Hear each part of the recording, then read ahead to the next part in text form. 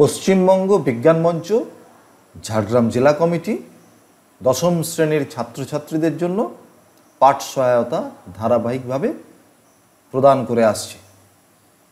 সেই প্রদান করার সিরিজে আমাদের আজকের বিষয় গণিত। গণিতের বৃত্তের স্পর্শক সংক্রান্ত ধারণা তৃতীয় পর্ব। মানে এর আগে আমরা দুটি পর্বে বৃত্তের স্পর্শক সম্পর্কে ধারণা দিয়েছি।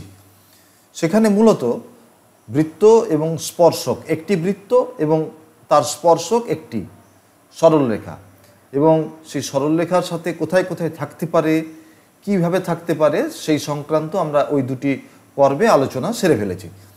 আমরা সেখানে দেখেছি যে বৃত্তের যে বিন্দু দিয়ে আমরা স্পর্শক টানবো, সেটা যেখানে যেখানে অবস্থান করছে, কোথায় অবস্থান করছে, তার উপর নির্ভর করছে স্পর্শকের সংখ্যা কতগুলি হবে, আদৌ হবে কিনা, সেগুলো সব সেখানে ছিল।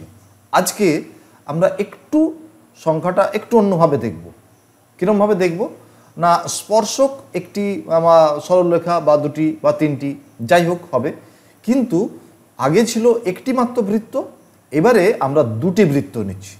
দুটি বৃত্তের মধ্যে একটি সাধারণ স্পর্শক। সাধারণ স্পর্শক মানে হচ্ছে যারা, দুটোতেই, দুটো বৃত্তরই স্পর্শক যে। অর্থাৎ এমন একটা সরল রেখা যে দুটো বৃত্তকেই একটি মাত্র বিন্দুতে সে স্পর্শ করে আছে। অর্থাৎ একটি বিন্দুর ওপর দিয়েই গেছে, কিন্তু দুটো বৃত্তের ওপর দিয়েই গেছে। এবারে আমরা, আমাদের প্রশ্ন তাহলে হচ্ছে দুটো বৃত্ত কীরকম কীরকম করে আছে, সেটা আমাদের প্রথমে জানতে হবে। তারপর তো আমি স্পর্শ আঁকবো, তাই না? তাহলে আমি তাই যদি করি, আমরা এখানে কতগুলো ছবি আঁকার চেষ্টা করি? প্রথমেই চিত্র এক। একটা, দুটো বৃত্ত তারা এরকমভাবে অবস্থান করতে পারে। অর্থাৎ দুটি বৃত্ত পরস্পর পরস্পরকে ছেদ করে আছে, দুটি বিন্দুতে ছেদ করেছে। চিত্র দুই, তারা থাকতে পারে এরকমভাবে, ঠিক ছেদ করে নেই একটি মাত্র বিন্দুতে স্পর্শ করে আছে। চিত্র তিন, তারা এখান থেকে বিচ্ছিন্ন হয়ে গেছে। তার মানে এখানে ছেদ করেছিল, এখানে একটুখানি লেগেছিল, এখানে দুটো বৃত্ত একদম পরস্পর থেকে বিচ্ছিন্ন, কোথাও এদের মধ্যে কোনো সংযোগ নেই। চিত্র চার এটা ভেতরে ঢুকিয়ে দেওয়া হয়েছে। অর্থাৎ একটা বড় বৃত্তর ভেতরে আরেকটি ছোট বৃত্ত থাকতে পারে।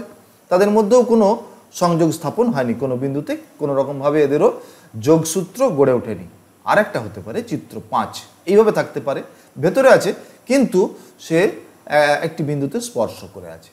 তাহলে এই পাঁচ রকমভাবে দুটো বৃত্ত থাকতে পারে। এর বাইরে আর থাকার বোধহয় সম্ভাবনা নেই। আমাদের যা যতটুকু আমরা খেয়াল করছি, একটু ভেবে দেখে নিই তবু। একটা ছেদ করল, একটা বিন্দুতে স্পর্শ করল, এরা বিচ্ছেদ হয়ে গেল, এটা ভেতরে ঢুকলো, আর এটা ভেতরে স্পর্শ করে আছে। এবার আমরা সাধারণ স্পর্শকের ধারণাতে যাব। এগুলোর মধ্যে এমন একটা সরলরেখা আমাদের টানতে হবে, যা এই দুটো বৃত্তকেই একটি মাত্র বিন্দুরকে স্পর্শ করেছে, অর্থাৎ একটিমাত্র বিন্দু দিয়েই দুটো বৃত্তের উপর দিয়ে গেছে। যদি তাই হয়, আমরা ওই পাঁচটা, পাঁচ রকমের যে অবস্থান, সেই অবস্থানের মধ্যে দিয়ে ছবিগুলো আঁকার একটা চেষ্টা করি। ধরা যাক চিত্র এক। এখানে স্পর্শক আঁকতে গেলে বা অর্থাৎ সরলরেখা একটা আঁকবো যা দুটোরই দুটো বৃত্তকে স্পর্শ করছে। এরকম হতে পারে। হবে। অর্থাৎ দুটি এরকম সাধারণ স্পর্শক অঙ্কন করা যাবে। চিত্র দুই, যেখানেতে তারা নিজেরাও স্পর্শ করে আছে। কীভাবে সম্ভব? একটা, এই চিত্র একে যেরকম দেখছি ঠিক সেরকমভাবে থাকতে পারে। আর কি থাকতে পারে? একটু ভেবে দেখি। হ্যাঁ থাকতে পারে বই কি? এই যে যেখানে স্পর্শ করে আছে নিজেরা, সেই স্পর্শবিন্দুর ওপর দিয়েও তো একটি স্পর্শক আঁকা সম্ভব। এঁকে ফেললাম। তাহলে এইখানে বৃত্তের অবস্থানের জন্য দুটি মাত্র সাধারণ স্পর্শক পেলাম। এখানে এদের অবস্থানের জন্য তিনটে সাধারণ স্পর্শক পাচ্ছি। তাহলে স্পর্শকের সংখ্যা এখানে হলো তিন।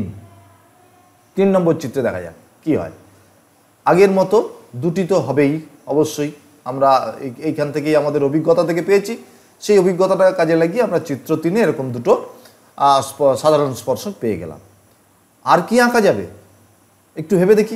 নিশ্চয়ই যাবে। যদি এটা এরকম ক্রস করে যায়, ঠিক এই রকমভাবে তাহলে এখানে সাধারণ স্পর্শকের সংখ্যা আরও বেড়ে গেল।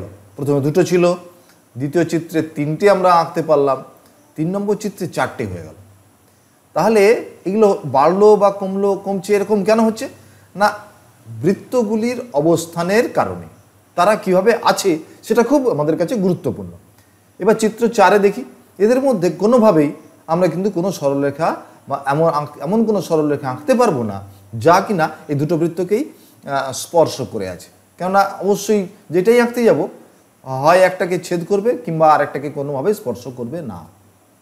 তাহলে চিত্র চার আমাদের স্পর্শক অঙ্কন করা সম্ভব হবে না। তাহলে এবার আমি দেখি চিত্র পাঁচে। এখানে একটি স্পর্শবিন্দু আছে। তাহলে আমরা এখানে স্পর্শক আঁকতে পারি। এটা ছাড়া, অর্থাৎ এই স্পর্শবিন্দু দিয়ে একটিমাত্র স্পর্শক আঁকা ছাড়া আমরা কিন্তু এখানেও আর কোনো স্পর্শক আঁকতে পারব না। তাহলে একটু ভালো করে খেয়াল করে দেখি। স্পর্শকের সংখ্যা বিভিন্ন রয়েছে। তাহলে এই স্পর্শকের সংখ্যাও যদি আমাদের কেউ বলে দেয় তাহলে আমরা কিন্তু বলে দিতে পারব যে বৃত্তগুলো কীভাবে আছে। যদি বলা হয় যে একটাও স্পর্শক আঁকা যাচ্ছে না, তাহলে আমরা বলব অবশ্যই একটি বৃত্তর ভেতরে আরেকটি বৃত্ত রয়েছে এবং তারা বিচ্ছিন্নভাবে রয়েছে। তাহলে আমরা বৃত্ত দুটির অবস্থান জেনে গেলাম। যদি বলে একটি মাত্র স্পর্শক অঙ্কন করা গেছে, তাহলে আমাদের মাথায় থাকবে দুটি বৃত্ত একটি বিন্দুতে স্পর্শ করেছে এবং ভেতরে অভ্যন্তরে রয়েছে, একটির ভেতরে একটি এবং সেখানে স্পর্শ করে রয়েছে। এরকমভাবে আমরা তার মানে বৃত্তের অবস্থানগুলো জেনে যাব যদি স্পর্শকের সংখ্যা আমাদের কাছে জানা থাকে। তাহলে এই হচ্ছে মোটামুটি সাধারণ স্পর্শক সম্পর্কে বৃত্তের সাথে আমরা যা কিছু একটু পর্যবেক্ষণ। এরপরে আমাদের আজকের যেটা আমরা বিষয় করব, সেটা হচ্ছে দুটো বৃত্ত দুটো বৃত্ত স্পর্শ করে আছে। অর্থাৎ এই রকম চিত্র দুই এবং চিত্র পাঁচ, এই রকম এই দুটি ক্ষেত্রকে আমাদের আজকের আলোচনার মধ্যে আনব। চিত্র দুই এবং চিত্র পাঁচ। অর্থাৎ নিজেরা নিজেরা স্পর্শ করে আছে। কি বলা হচ্ছে? দুটি বৃত্ত তারা পরস্পরকে স্পর্শ করে অবস্থান করলে, যদি অবস্থান করে থাকে, তাহলে স্পর্শবিন্দুতে স্পর্শক, অর্থাৎ স্পর্শ বিন্দুতে যদি স্পর্শক টানি এবং বৃত্তের যে কেন্দ্র দুটো, সেই কেন্দ্র দুটোকে যদি যুক্ত করি, তাহলে একটা সরলরেখা পাবো। সেই সরলরেখা এবং ওই স্পর্শবিন্দুতে স্পর্শ এদের মধ্যে সম্পর্কটা কি? আমরা যদি ছবি আঁকি, একটা বৃত্ত, এ কেন্দ্রীয় বৃত্ত বি কেন্দ্রীয় বৃত্ত এরকম রয়েছে। স্পর্শবিন্দু হচ্ছে কি পি এবং সেখান দিয়ে আমরা একটা স্পর্শক আঁকলাম এক্স ওয়াই এবং এই এক্স ওয়াইয়ের আর এই কেন্দ্র দুটি আমরা যুক্ত করলাম এবি তাহলে এই এবি সরলরেখাটার সাথে এক্স ওয়াই আর এই পি বিন্দুতে এই পি এদের মধ্যে কি সম্পর্ক আমরা সেটা দেখব। একটা আমাদের জানা আছে, অর্থাৎ পি বিন্দুতে যেহেতু এক্স ওয়াই স্পর্শক, একদম প্রথমে এক নম্বর পর্বে আমরা জেনে রেখেছি যে ওই স্পর্শ বিন্দু দিয়ে যদি কোনো ব্যাসার্ধ টানা হয় তাহলে সেই ব্যাসার্ধটি ওই স্পর্শকের উপর লম্ব হবে। আচ্ছা এটা তো এরকম অবস্থানে গেল। আমরা যদি অন্যভাবে দেখি ভেতরে যখন স্পর্শ করে আছে এটা এম কেন্দ্রীয় বৃত্ত আর একটি এন কেন্দ্রীয় বৃত্ত তারা স্পর্শ করে আছে এখানে স্পর্শবিন্দু হচ্ছে এখানে কিউ দিলাম এটি স্পর্শক টানলাম এস টি এবারে এম এন কিউ আমরা যদি যুক্ত করে ফেলি তাহলে এই এম এন কিউ এই সরল রেখাটার সাথে এই আমাদের আহ, স্পর্শ বিন্দু এবং এই এম এন এদের মধ্যে কি সম্পর্ক আছে? এই সম্পর্কটাই আমরা দেখতে চাইছি। আমরা এর আগে যেহেতু জেনেছি যে স্পর্শকের উপর, স্পর্শবিন্দুর উপর যদি ব্যাসার্ধ টানি তাহলে তারা লম্ব হবে। তাহলে এই ছবিটাতে এপি লম্ব এক্স ওয়াই খুব স্বাভাবিক। আবার ঠিক বি কেন্দ্রবৃত্তের বিপি লম্ব এক্স ওয়াই তাহলে এই দুটো পরস্পর লম্ব, তাই না? একইভাবে এই যে ছবিটা আমরা নিয়েছি, অর্থাৎ অন্তবৃত্ত যেখানে অন্তস্থভাবে স্পর্শ করে আছে, সেক্ষেত্রেও এম কিউ এম থেকে কিউ এর এটা লম্ব হবে এসটির ওপরে আবার এন এন কেন্দ্রবৃত্ত, তার যে ব্যাসার্ধ, স্পর্শবিন্দুগামী এন কিউ সেটাও লম্ব হবে এসটির উপরে। এদের মধ্যে সম্পর্ক কি? সম্পর্কটা আমরা যদি একটুখানি ভাবি, তাহলে কি হবে? সেই সম্পর্কটা ছবি থেকে দেখতে পাচ্ছি যে স্পর্শবিন্দু এবং কেন্দ্র দুটি যদি যুক্ত করা হয়, তাহলে স্পর্শবিন্দুটি কিন্তু এই এ বি সরলরেখার ওপরে এখানে আছে। এখানেও এমএন এই সরলরেখার ওপরেই কিন্তু এই স্পর্শবিন্দু কিউ অবস্থান করছে। আচ্ছা কি লেখা হলো? লিখছি আমরা, দুটি বৃত্ত পরস্পরকে যদি স্পর্শ করে, তাহলে স্পর্শবিন্দুটি কেন্দ্র দুটির সংযোজক সরলরেখার উপর অবস্থিত হবে। তাহলে এটা আমরা ছবি দেখে, ছবি আঁকার পর এই ধারণাটা আমাদের আসছে। কিন্তু শুধু তো এটুকু বলে দিলে আমাদের তো হয়ে গেল। এটা আমরা ধারণা পেয়ে গেলাম। কিন্তু আমাদের কিছু বিশ্লেষণ থাকে, গাণিতিক বিশ্লেষণ। সেই বিশ্লেষণটা আমরা একটু দেখে নেব। যা আমরা এর আগে ধারণা দুই, পর্ব দুই এবং ধারণার পর্ব একে আমরা অল্প আলোচনা করেছি। সেই আলোচনাটাই কিন্তু আমরা এখানে জাস্ট ব্যবহার করব মাত্র, আর কিছু না। খুব সহজ বিশ্লেষণ। আমরা এখানে আগের থেকে ছবি দুটো এঁকে রেখেছি এবং দুটোর ক্ষেত্রেই এ আর বি এই দুটোই নাম দিয়েছি যাতে আমাদের সুবিধে হয় বলতে এবং বুঝতেও যাতে সুবিধে হয়। কি রয়েছে? এখানে যেহেতু এ কেন্দ্রীয় বৃত্ত হ্যাঁ এ আর বি দুটো কেন্দ্রীয় বৃত্ত তারা পরস্পর স্পর্শ করে আছে পি বিন্দুতে। তাহলে এ কেন্দ্রবৃত্ত, বি কেন্দ্রবৃত্ত, তারা নিজেরা পি বিন্দুতে স্পর্শ করে আছে। এবং এই পি বিন্দুতে দুজনেরই একটি সাধারণ স্পর্শক আছে। অর্থাৎ এই এক্স ওয়াই এ কেন্দ্রবৃত্তর স্পর্শক, আবার বি কেন্দ্রবৃত্তেরও স্পর্শক। সেটা হচ্ছে আমরা নাম দিয়েছি এক্স ওয়াই। দুটো ছবির ক্ষেত্রেই দুরকম অবস্থানের ক্ষেত্রেই। তাই যদি হয়, এ কেন্দ্রবৃত্তের যদি এক্স ওয়াই স্পর্শক হয় এবং পি যদি স্পর্শবিন্দু হয় তাহলে আমরা জানি কি? এপি লম্ব এক্স ওয়াই। এর আগেও তাই বলেছি, আমরা পর্ব একে এটাই জানি, খুব সহজ হবে। ঠিক একইভাবে বি কেন্দ্রীয় বৃত্ত সে তারও এটা সাধারণ স্পর্শক, এটা স্পর্শবিন্দু, এবং বিপি হচ্ছে স্পর্শ বিন্দুগামী ব্যাসার্ধ। তাহলে এক্ষেত্রেও বিপি এক্সিয়ার উপর লম্ব হবে। মজাটা হচ্ছে এইখানে, যে একটা সরলরেখার উপর পি বিন্দুতে দুটোই লম্ব হচ্ছে। একটা নির্দিষ্ট বিন্দুতেই এপি আর বিপি দুটোই লম্ব। পি বিন্দুতে, এখানেও তাই। এপি আর বিপি তাহলে একটা সরলরেখার একটা বিন্দুতে যদি দুটো লম্ব হয়, আর বিন্দুটা যদি একই হয়, তাহলে কি ওই ওই সরলরেখাটা তো একটা সরলরেখার ওপর ছাড়া তো কারোর উপর অবস্থান করতে পারবে না। এখানে এপি এবং বিপি দুটোই পি বিন্দুর উপর লম্ব।